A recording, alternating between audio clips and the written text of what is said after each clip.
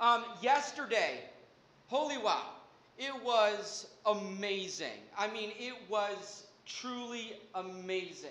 Um, for those of you guys who were unaware, um, we it was kind of a last minute thing, but the Lancaster Food Pantry and us we got together and and made some decisions, some connections. My wife is just incredible. Um, contacted them. Um, we got cones still out there from the Lancaster PD. They were here, just kind of setting up cones and everything. But we gave away food for 100 families. And so um, that's that's what the, the coolers the coolers that Kelly was talking about. Those are what um, was going toward. They were we were storing eggs in those, and um, but we had uh, boxes, we had meat, we had eggs. I mean, it was just amazing. People responded.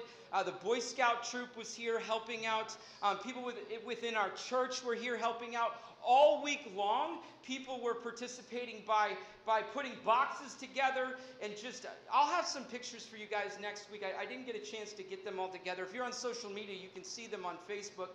Um, or Instagram or whatever, but, but there was just this incredible presence this incredible presence as a church. And it was so inspiring that the police chief, all right, the police chief approached my wife and said, We need to do this again. And I want to give you some opportunity. I want to actually contact some people so that you have more resources available and have more things available to make this an even better event. And so, um, I mean, it was just like there were vehicles pulling in and, and um, you know we were just like putting boxes of food for families and just the look on their faces the delight. Um, unfortunately they didn't get to see our smiles because um, the you know the the masks were on and everything like that. And and uh, but but anyway it was just an incredible incredible thing. And um, she's not in here right now, but my wife is just awesome. I mean, her orchestrating all of these different details, getting in contact with the food bank, getting in contact with the police department, just putting all of these pieces together that we were able to actually have a mobile food pantry here that we were able to have a hundred boxes of food that people came in we gave them food and the food that did not go out in the vehicles that were coming through we actually were able to put them into vehicles and deliver them to people who had need. Now that right there is an awesome church. Um, you know, we, we, we found ourselves at a bit of a challenge within the, the, the parameters of this coronavirus. Does it sound good, Kelly? Okay, awesome. Um, she was checking on something for me. Anyway, um, in, in, the, in the midst of all of these things that are going on in our country, there has been a shutdown, if you will. I mean, just an immediate attention. Our church had never done live streaming before. When everything shut down, we suddenly had to adapt. Before we had terrible internet, and then we were able to get better internet. Our streaming is getting better. Things are getting better. It has just been incredible to see God move and God do amazing things to make it possible for us to stream. And then slowly um, creating opportunity for us to be in church again, slowly creating opportunity for us to gather again. Thank you guys for being respectful and practicing that social distancing piece. Um, make sure that you guys are aware, uh, you know, just as things are going on after service you know, put your masks on, head out, so that we're just being respectful and polite and all that stuff. Just throwing that in there. Anyway, um, we have had some some challenges, and I've watched. I have watched as this church has said, you know what? We're going to jump in both feet, and we're going to watch God move. We're going to adapt. We are going to show just how versatile we are. We're going to change the game and we're going to bring the message to people even though the building is closed. We're going to put on our masks. We're going to ding dong ditch, as some of us did. This mobile food pantry that we had here, where we delivered 100 boxes to people that were driving in, we had actually, many, many weeks before, we had been bringing people from the church and families. They were getting boxes in their vehicles. They were going to people's homes. They were knocking on them, their doors and running so that there wasn't any uh, social engagement and, and giving people groceries that way. I mean, we are developing as a church, we are watching as this church adapts, and it has been beautiful. It has been beautiful. You guys are so amazing, and I am so thankful and appreciative that I get to call this my church. This is my church.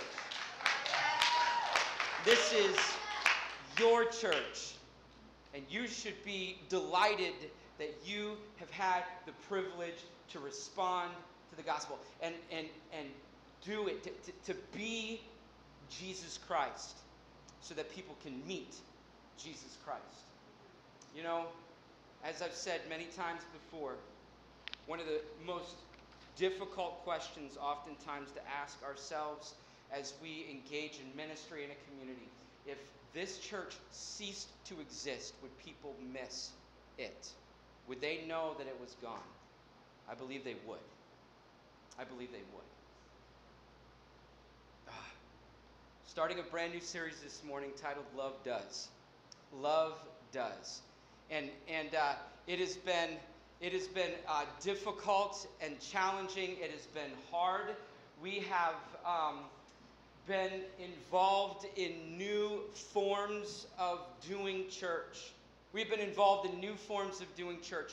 But in this, in this new adaptive way, we are discovering more and more what love really is.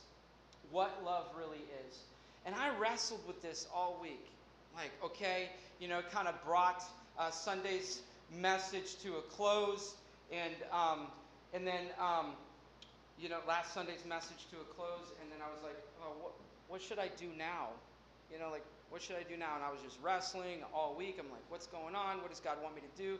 How does God want me to accomplish this? What's God, you know, what's God's plan, et cetera, et cetera. And then um, just yesterday, finally, um, God was like, Seth, you need to preach about love. You need to preach about love. Seth, you need to you need to talk to people about love. And I was like, okay. And so like like um, you know, I I uh, man, something's going on. What is everybody looking at? What? Last week my wife was killing a hornet, and now there's a deer. Look at you all. Oh, he's gone. See, y'all scared him away. Anyway man, they're all, you guys that are online right now, they're all looking to the side here. I'm like, what's happening? Something big is going on.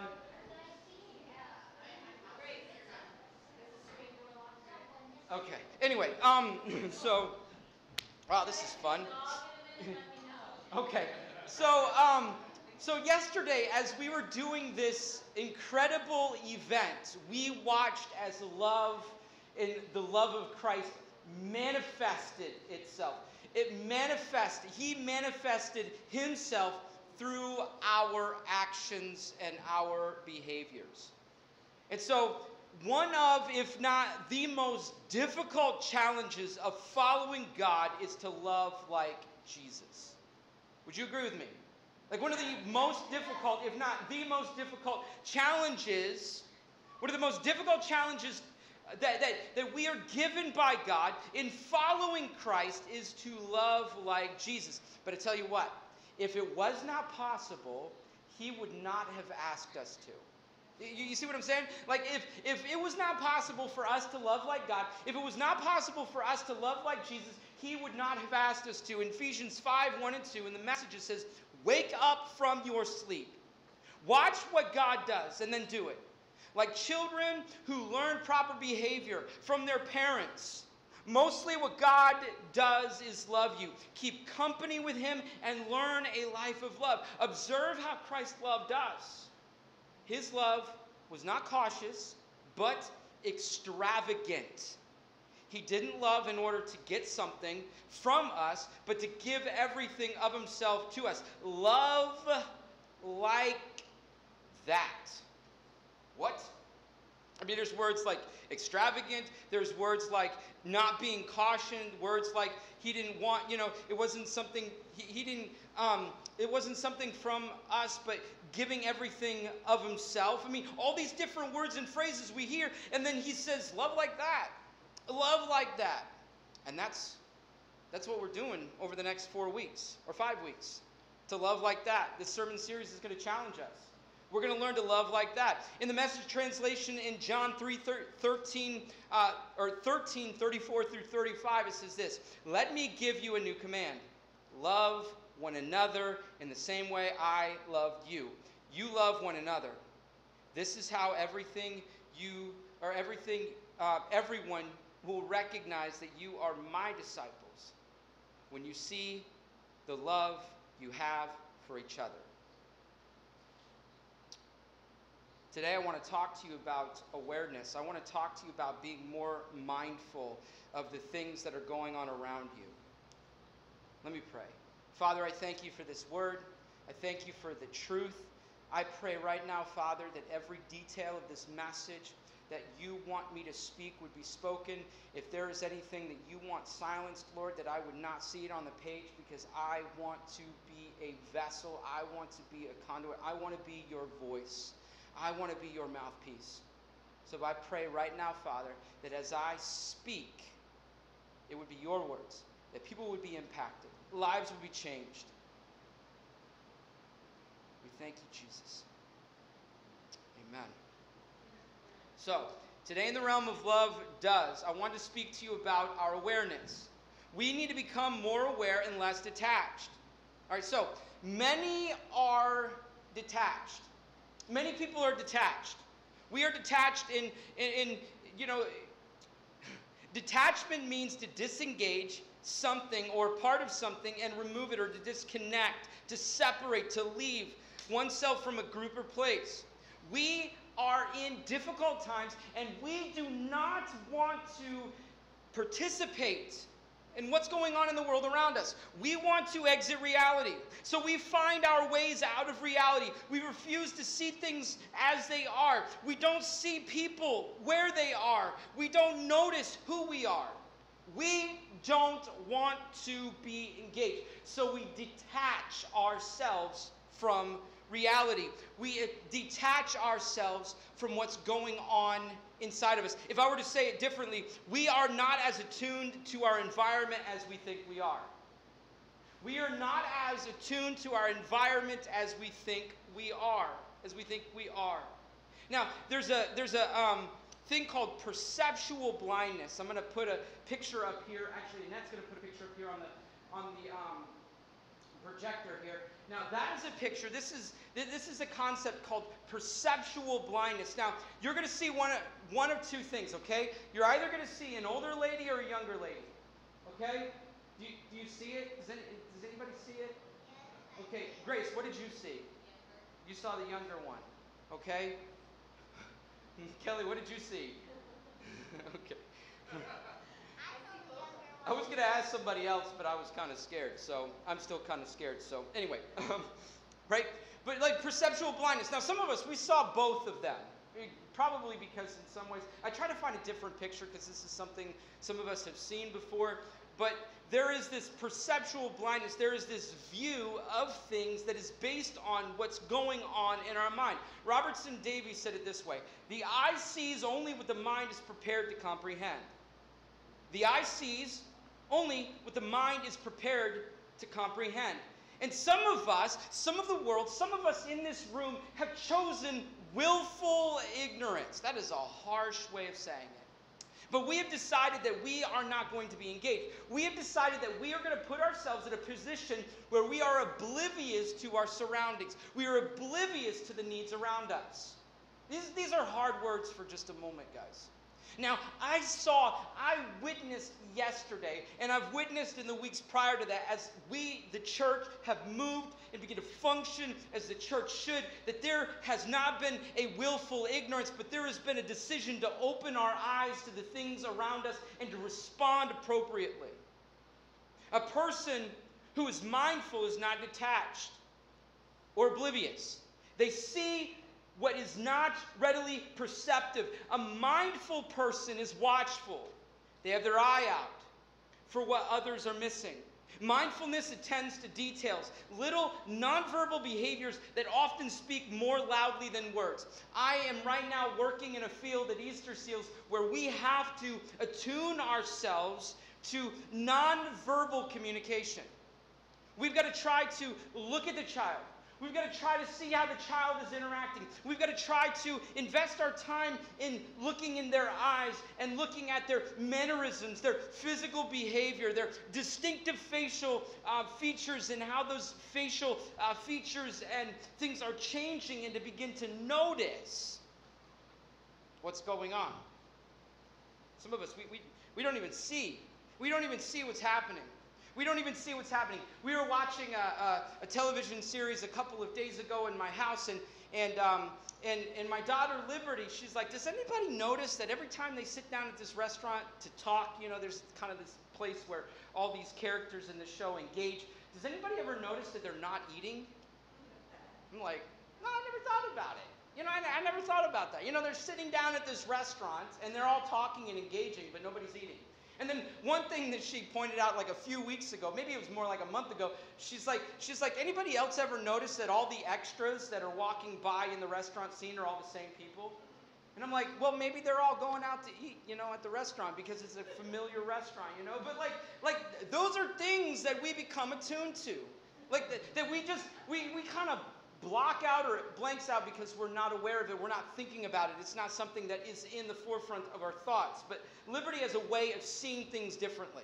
She, she just she sees the world differently. She sees, she interacts with things differently. She interacts with people differently. She has a perceptive view of the world that just blows my mind. Like all of us are just watching the show, and she's like picking out all these different things that just seem so far out. Like, like and I mean, I could I could pick out a lot of other things, but she just, she has this perceptive ability to see things that most people don't see. Most people are blind to. And so, if we're going to be uh, people that do things out of love, we need to not be detached. You see, Jesus was mindful, or Jesus was aware Jesus was aware. Jesus has always been about deconstructing systems and cultural norms that rob people of their humanity. We are the ones often asleep to that reality. I mean, Jesus just like, like, um, you know, I, I remember um, being in a, in a place once where, where I was sitting in a place with a bunch of people and they're like, oh, I'm just, you know, I don't like religion, you know, religion's not my thing. And I'm like, it wasn't Jesus either. Like, what? What are you talking about? You know, and so I was able to have a conversation to explain that in more detail. Like, this is not about what you think it's about. Jesus was all about deconstructing those systems. And so he finds himself in an environment where these Pharisees and Sadducees, every time I say Sadducees, I try to avoid the comic relief because they were sad, you see. Anyway, um, I just had to say it. Anyway, um, so there's this environment where they're all talking and they're trying to pin him in a corner and make him confused and get him to uh, mess up what he's saying. And in Luke 10 25 through 37, we see this dialogue happen where he uses a parable to explain the truth that he came to give. And so in verse 25, just starting right there, it says, One day an expert in religious law stood up to test Jesus by asking this question Teacher, what should I do to inherit eternal life? And Jesus replied, What does the law of Moses say? How did you read how do you read it? Like just flipping a script, like, okay, you're gonna ask me a question, let me ask you a question. You know? The man answered, You must love the Lord your God with all your heart, with all your soul, and with all your strength, with all your mind, and love your neighbor as yourself. Boom, nailed it. And Jesus is like, Right, Jesus told him. Do this and you will live. The man wanted to justify his actions, so he asked Jesus, And who is my neighbor? Who is my neighbor? Now, I know that in our current culture, we could think of the person that's right next to us in our home, and that is in a lot of ways true, but, but he is speaking of this larger framework, this larger understanding of your neighborhood, if you will. And so he goes on to talk about the Good Samaritan. Now, this Good Samaritan story was a bit of a controversial thing because Samaritans weren't looked upon as very, you know, they, they, were, they were the outcasts of society. They weren't special, they weren't valued. In fact, they were there because there was this exile experience and they stayed in the land instead of leaving. And then they, you know, intermarried with the Jewish people and they had children. And it was just, it was this racial issue The Jews looked at them with disrespect and disdain. They looked at them with disgust as they were, they, they were considered lower class. They were considered less than valuable. And Jesus is going to make a solid point about how the Samaritan is better than them. And that is like, whoa. Like them fighting words, right? So here we go. Jesus replied with a story. The Jewish man was traveling from Jerusalem down to Jericho, and he was attacked by bandits. They stripped him of his clothes, beat him up, and left him half dead beside the road. By chance, a priest came along, but he, when he saw the man lying there, he crossed to the other side of the road and passed him by. The temple assistant walked over um, and looked at him lying there, but he also passed by on the other side. Then a despised, a despised Samaritan, the guy that you look down upon, just make it a point, the guy that you disrespect, the guy that you think is lesser than, came along. And we saw the man. He felt compassion for him. Going over to him, the Samaritan soothed his wounds with olive oil and wine and bandaged them. Then he put the man on his own donkey and took him to an inn where he took care of him. The next day he handed the innkeeper two silver coins, telling him, Take care of this man. If the, his bill runs higher than this, I'll pay you. I'll pay you the next time I'm here.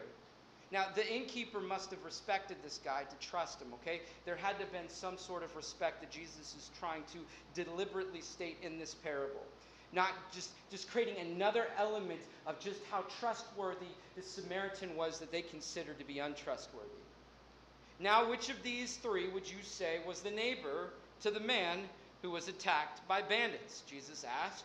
The man replied, The one who showed him mercy. Then Jesus said, Yeah, now go and do the same. Now go and do the same. Many of Jesus' arguments took an ill minded view, it took on the ill minded view of religious leaders. They were naive, they refused to see things as they were. They were so focused on their own religious rules and laws and perspectives and decisions that they were completely oblivious to what was going on around them. I've talked about this before, but they even had rituals on how dishes were to be washed. Like if you look at the Bible, if you look at the text, if you look at what's going on, they had a rhythm. And this is this is like lunacy. If they didn't do it right, they had to go back to the beginning and start washing the dishes over again. Whoa. No. No, no, no, no, no. I don't even want to tell you about the practices of washing dishes that happened in my life when I was in college, okay? If it looked clean, we were good. You've been there. All right, you've been there. anyway, um, so Jesus is shocking the system. He's opening their eyes to things. He's pointing out that their human character is flawed, and he's pointing out a truth by in this narrative that expressed to them how fallen, broken, and misguided they were by using the narrative of, of, of an outcast of society. You see, Jesus saw what others didn't see. He saw what others didn't see. Jesus wanted others to see what they didn't see. Jesus wanted others to see what he saw. That's why he used parables. They were modern day stories, or modern day in that day, they were a modern day ex- explanation of biblical truths, of, of spiritual truths that help people understand in a very, very uh, specific way. Jesus wanted them to see. In fact, the scripture has more than 40 references that say Jesus saw. Jesus saw. Jesus saw. You see, where others saw a paralyzed man, Jesus saw faith. Where others saw a political traitor, Zacchaeus, Jesus saw a disciple. Where others saw crowds of harassing people, Jesus saw people being harassed. Whoa, wait a minute. Where where others saw crowds of harassing people, Jesus saw people being harassed. Where others saw sinners, Jesus saw people in need of mercy. How did Jesus see what others didn't? He was mindful, he was open minded, he was aware.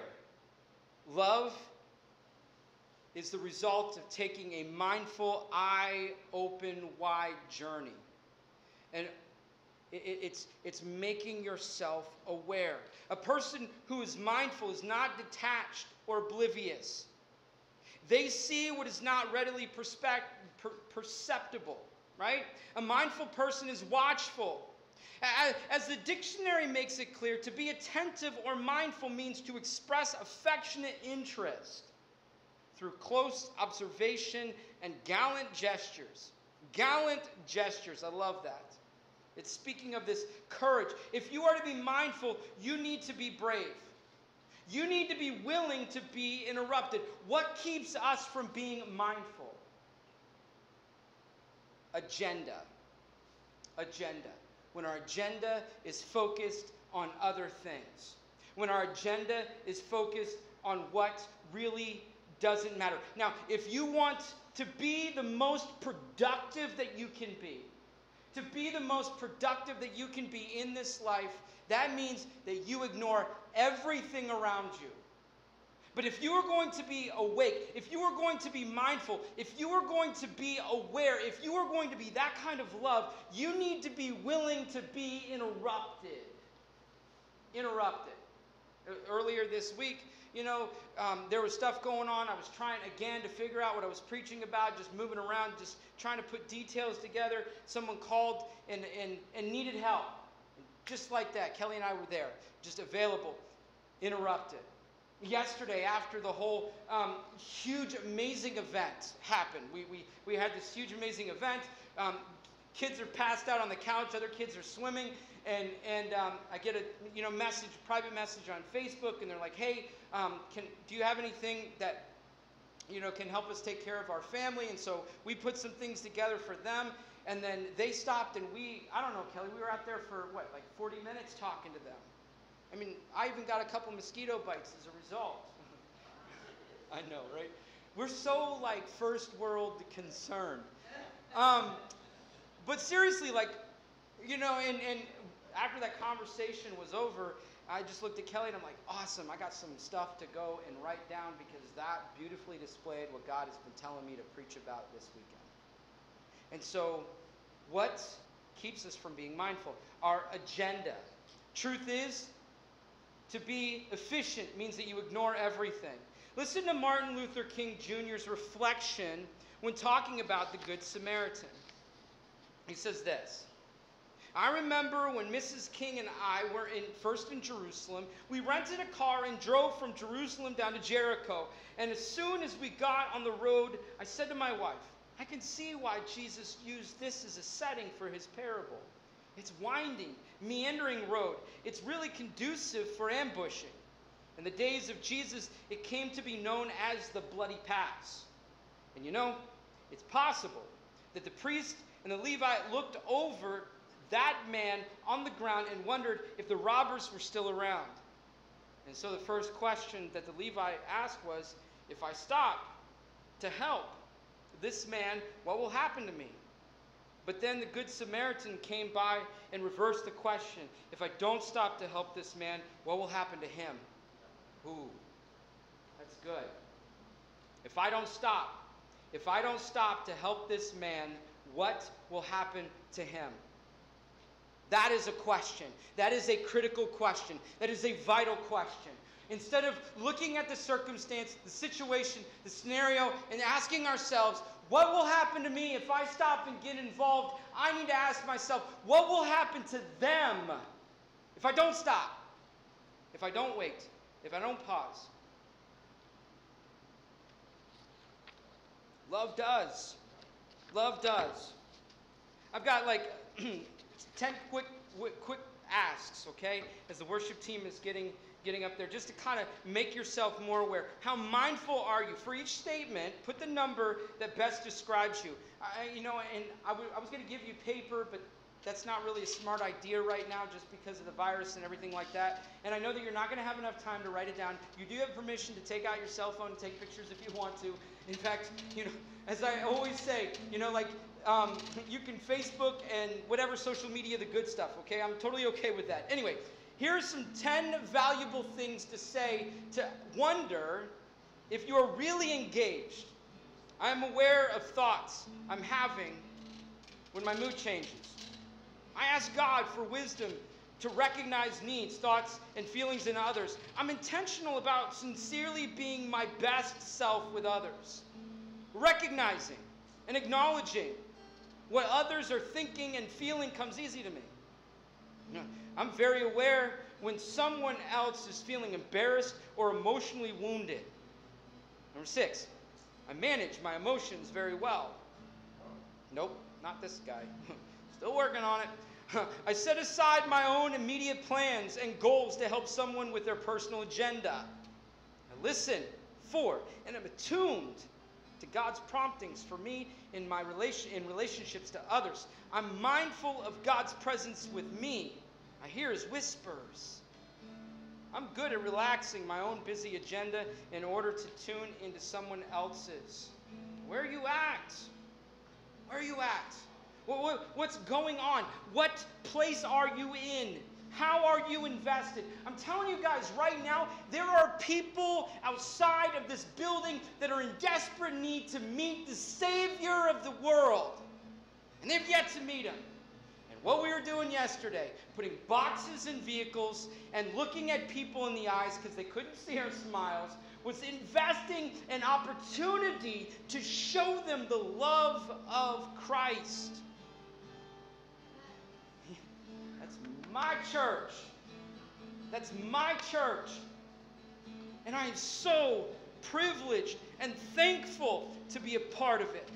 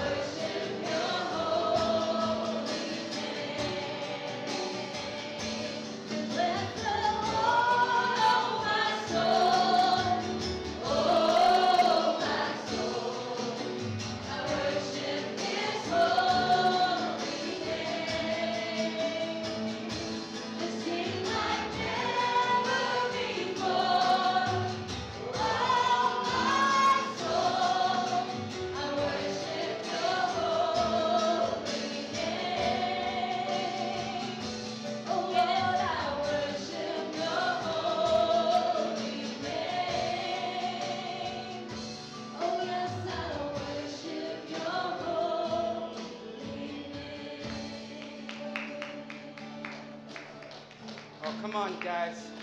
You clap a little bit louder.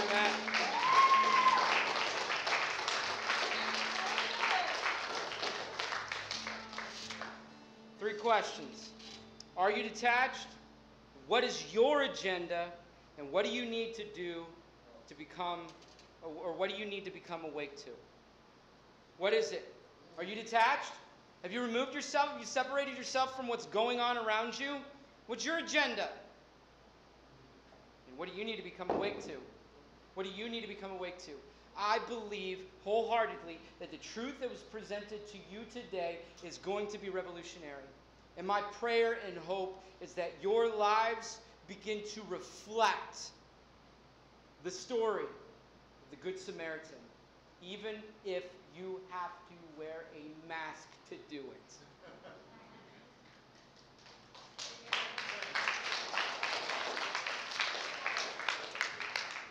I pray, Jesus, right now for truth. I pray, Jesus, right now for a mighty touch. I pray right now, Jesus, that we would experience the true saving grace that you brought us, and that we would begin to manifest that love in our lives, because love does. May our eyes be open. May we be attuned to the things that are happening around us. Wake us up, Lord. Shake us. Break us.